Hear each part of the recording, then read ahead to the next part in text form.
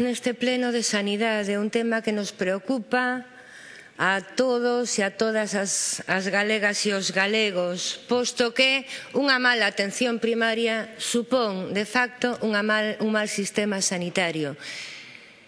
O que está facendo o Partido Popular coa atención primaria e cos centros de saúde de prometer centros e de non construílos, de non levar adiante a mellora e a aposta pola atención primaria, ven a ser o mismo que se si pretendemos ter a mellor universidade do mundo, pero recortamos en atención primaria e secundaria nunca chegaremos a ter unha gran universidade. A atención primaria é a atención que garantiza a calidade asistencial inicial e a que pode prever as enfermedades e a complicación das mesmas.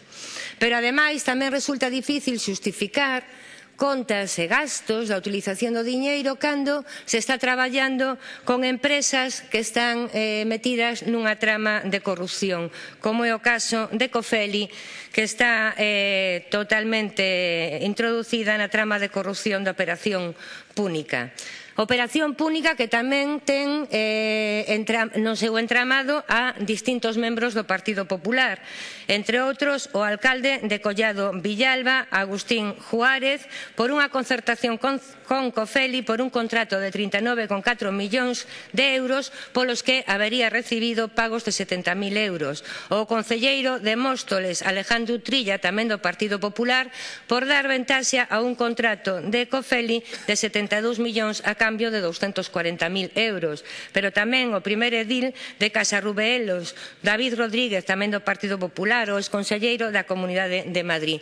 Evidentemente, outra nova trama de corrupción na que se encontra inmerso o Partido Popular.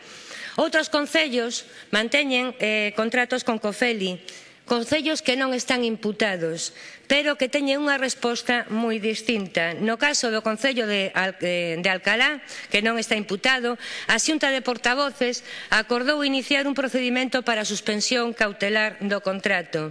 No Concello de Leganés, os técnicos municipais están estudando un contrato adxudicado a Cofeli.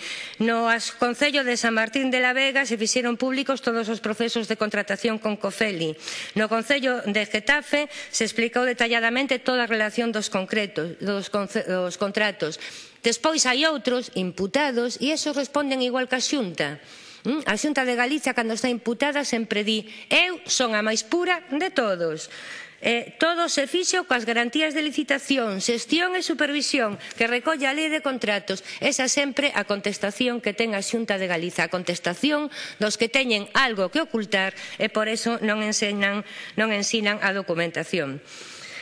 Despois de que se, produciran as primeiras detencións en Cofeli, Cofeli conseguiu como mínimo tres contratos públicos máis por un valor superior a 1.500.000 euros. O mismo día que o grupo de, de, de delitos da Unidade Central Operativa iniciou as detencións e os registros da Operación Púnica, o Instituto de Salud Carlos III tiña unha nova concesión con Cofeli por dun contrato de 827.000 euros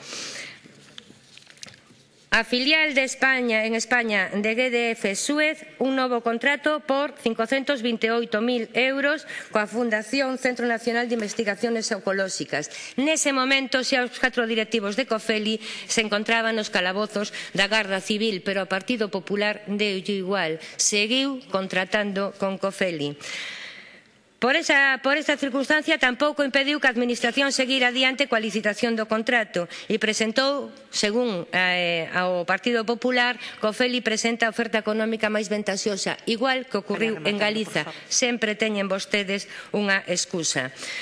Polo tanto, nós eh, o vamos a apoiar esta proposición non, non de lei, digo, esta moción do, de AGE, porque creemos que é necesario ter todas as explicacións e toda a documentación, o que parece un escándalo que haxa que pedila en sede parlamentar e no pleno porque o Partido Popular a deniega, pero presentamos tamén unha emenda de adición porque creemos que non se pode dar negocio aos corruptos. E polo tanto presentamos unha emenda que pide a Xunta iniciar o procedimento para a suspensión cautelar de todos os contratos que a Xunta teña adxudicados con Cofeli, xa que me dá a impresión de que esta será a única forma de que a construción tanto dos novos centros de saúde como as obras que hai que facer no Hospital do Salnés vayan adiante sin que os corruptos se queden cos cartos que iban destinados á saúde. Nada máis, moitas gracias.